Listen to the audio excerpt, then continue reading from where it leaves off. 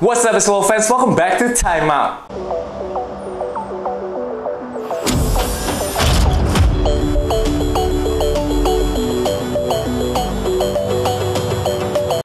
Ruki Padilla. Wah gila Twitter meledak sih tadi malam setelah New Orleans Pelicans memposting foto terbaru dari Zion Williamson dan Zion terlihat sangat slim down dan juga makin berotot. So this is bad news man untuk lawan-lawannya New Orleans Pelicans nanti di Orlando, Florida saat NBA restart tanggal 30 Juli. Sebelum kita ngomongin kenapa Zion akan mendominasi di Orlando nanti, kita akan ngomongin timnya terlebih dahulu. Timnya New Orleans Pelicans sedang mencoba untuk mengejar NBA playoff. Mereka saat ini ada di posisi ke-10.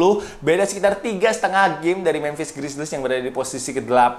Ayo, di sini siapa yang pengen New Orleans masuk playoff? Tulis dulu di comment section di bawah. Karena memang New Orleans ini salah satu tim yang paling exciting banget karena mereka eksplosif dan juga sangat muda-muda sekali pemainnya. Jadi banyak sekali fansnya juga di Indonesia, gue yakin. Tapi memang main ada beritanya bahwa ada tiga pemain New Orleans Pelicans yang positif saat dites. Tapi kalau gue lihat yang core-nya kemarin masih ada semua ikut latihan saat uh, New Orleans membuka sesi latihan ada Lonzo Ball, Drew Holiday, Brandon Ingram, JJ Redick, Josh Hart. Jadi semuanya kayak yang core-nya masih aman lah. Tinggal nungguin kabar dari big man-nya aja nih, yaitu Derek Favors dan juga Jason Hayes. Hopefully dua-duanya tidak ada yang terkena positif tes. Semoga bisa main juga nanti di Orlando, Florida.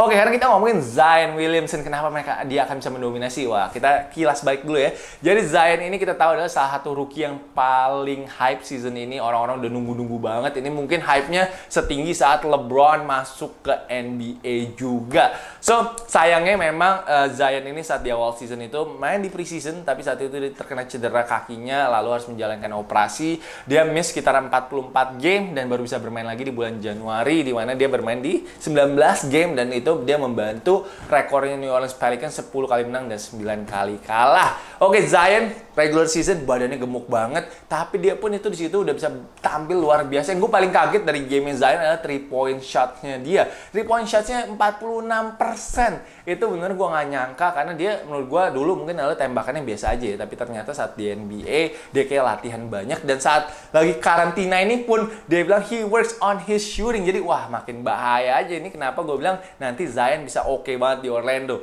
Lalu dia uh, saat regular season udah average-nya 23 uh, 23,6 poin per game, uh, field goal percentage-nya 59%. Jadi Zion ini walaupun rookie tapi dia nggak takut sih main lawan-lawan uh, lawan-lawan pemain superstar lainnya. Oke, di Orlando kenapa dia bisa mendominasi nanti? First of all, badannya dia kita bisa lihat dengan badannya dia dia pasti akan lebih eksplosif lagi nanti.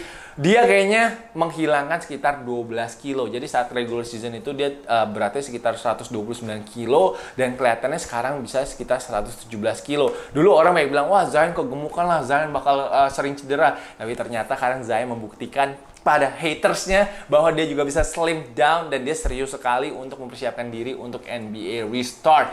Dia ini main cerita bahwa memang dia latihan dengan step dadnya uh, karena kan di NBA guidelines nggak boleh memakai uh, apa ya uh, pra, uh, fasilitasnya NBA jadi dia latihan kayak di rumah bersama step dadnya dan mungkin di lapangan dekat rumahnya juga di mana dia work on his shot dan juga conditioning. Jadi ini kok gue lihat dia he's in very uh, fantastic shape jadi Men, gue nggak sabar sih ngeliat Zion. Gue bilang Zion ini bisa mendominasi, mungkin aja average poinnya bisa di atas 25 poin per game nantinya.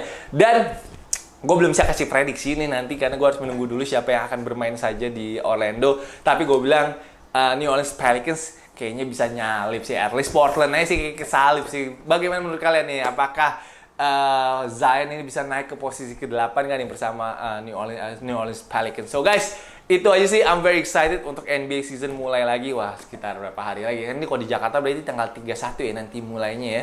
Berarti sekitar 28 hari lagi dan NBA uh, udah ada tuh lapangan yang kemarin uh, di Orlando. Ada beberapa lapangan latihan udah disiapkan juga. So it's getting closer hopefully everything gonna go smoothly uh, hopefully tidak dibatalkan restartnya hopefully uh, NBA tetap bisa jalan uh, karena kita sebagai fans pun sudah sangat in, uh, exciting banget so guys itu aja sih video video gue hari ini. Jangan lupa untuk like, jangan lupa untuk comment, and jangan lupa untuk subscribe. Thank you guys for watching. I'll see you guys next video. Peace.